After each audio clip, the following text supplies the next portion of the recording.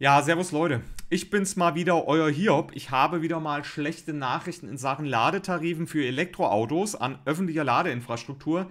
Denn die SWM, die äh, bisher einen wirklich sehr günstigen Tarif für Elektroautofahrer im Angebot hatte, hat jetzt bekannt gegeben, dass sie zum 1.4.2022 ihre Preise massivst erhöhen wird.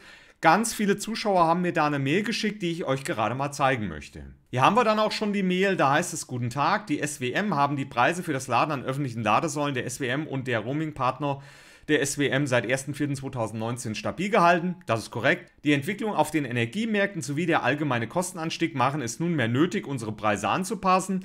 Aus diesen Gründen können wir Ihren Vertrag nicht mehr fortsetzen und kündigen diesen hiermit form- und fristgerecht zum 1.4.2022. Warum hier direkt gekündigt wird, statt nur darüber informiert wird, dass man die Preise erhöht, das ist mir nicht ganz klar. Die AGB geben das aber, glaube ich, her, dass die äh, Stadtwerke München hier kündigen können. Ich bin kein Jurist. Aber das mag wohl so sein, wobei diejenigen, die die Mail bekommen haben, die müssen nicht traurig sein, denn die äh, Tarifkonditionen, die die SWM jetzt in Zukunft bieten wird, sind alles andere als attraktiv. Hier werden die dann auch noch mitgeteilt. Unsere künftigen Preise laden an AC-Ladepunkten 49 Cent je Kilowattstunde, laden an DC-Ladepunkten 69 Cent je Kilowattstunde. Und äh, die Ladekarte kostet jetzt 11,90 Euro. Das Ganze ist auch schon auf der Internetseite der SWM angepasst. Wir sehen hier die alten Preise bis 31.03.2022. Da hat man 38 Cent sowohl fürs Laden AC als auch fürs Laden DC bezahlt.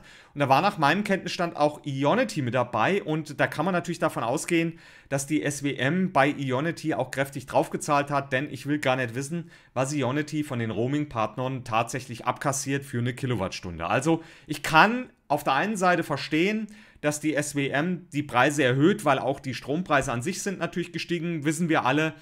Ähm, das Maß der Erhöhung finde ich jetzt ein bisschen überraschend. Auch warum man jetzt statt äh, 5 Euro für eine Ladekarte plötzlich 11,90 Euro nimmt, ist mir nicht ganz klar. Und wir haben jetzt, wie gesagt, 49 Cent je Kilowattstunde fürs AC-Laden. Das sind so rund 29% Preiserhöhung. Und beim DC-Laden haben wir jetzt die genannten 69 Cent je Kilowattstunde. Das entspricht so 82, 83% ungefähr Preiserhöhung. Und das ist natürlich schon massiv und macht die SWM damit für Elektroautofahrer absolut unattraktiv. Und ich habe jetzt hier auch keine Differenzierung erkennen können, dass zukünftig ähm, Kunden der SWM, die also dort auch ihren Strom beziehen, entsprechend günstigere Tarife bekommen. Das heißt also Laden auch in München direkt an der Ladeinfrastruktur der SWM für Stromkunden der SWM wird mit der Karte unattraktiv, denn da gibt es weiterhin günstigere Anbieter.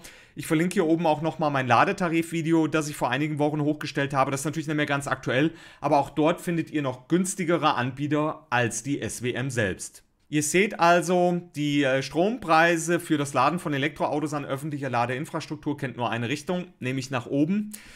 Äh, ich bin also hier der Verkünder der Hiobsbotschaft. Ihr könnt ja nochmal schreiben, was ihr davon haltet. Wie seht ihr die Situation? Glaubt ihr, dass das von der Bundesregierung angekündigte Deutschlandnetz eine Veränderung bringen wird? Dort ist ja eine Obergrenze von 44 Cent je Kilowattstunde erstmal vorgesehen. Ob das so kommt, ich habe mittlerweile meine Zweifel wird das aber im Endeffekt die jetzigen Anbieter ein bisschen unter Druck setzen, ihre Preise zu senken. Ich bin sehr gespannt, wie die Entwicklung weitergeht. Ich werde langsam aber zum Pessimisten. Wie gesagt, schreibt mir eure Meinung auch mal unten in die Kommentare.